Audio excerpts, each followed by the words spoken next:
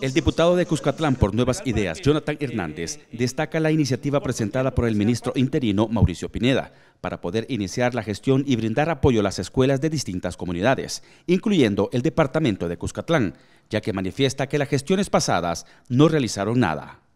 Los militantes se han dado cuenta cómo el partido Arena ha estado envuelto en temas de corrupción realmente que no, que no han dejado al país avanzar. Y eso forma parte de, esta, de este, del hundimiento de este barco.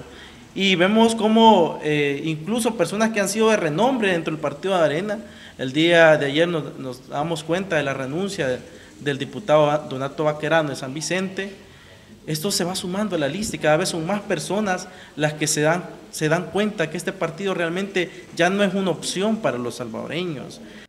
El diputado manifestó que ha presentado una iniciativa dirigida a la Comisión de Cultura y Educación para beneficiar el desarrollo de las comunidades. En la cual vamos a, dejar las excusas atrás. El hecho de que un centro escolar no, no sea legalmente del Ministerio de Educación no quiere decir que está condenado a seguir en, la precariedad o que no se, no se le va a invertir, no. Vamos a dejar atrás las excusas y vamos a invertir en esos centros escolares y vamos, pero no eso no quiere decir de que, ah, bueno, ya no vamos a ir con el trámite legal, como no, vamos a ir con el trámite legal para que eh, en, un corto tiempo pues sean parte del Ministerio de Educación.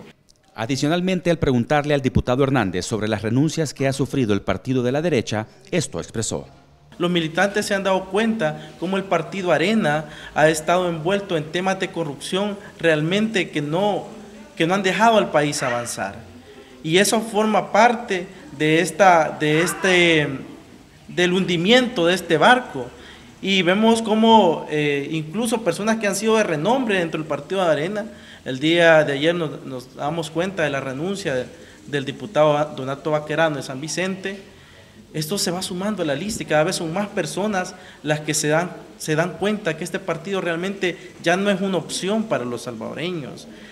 En San Salvador, para TVO Noticias, Carlos Meléndez.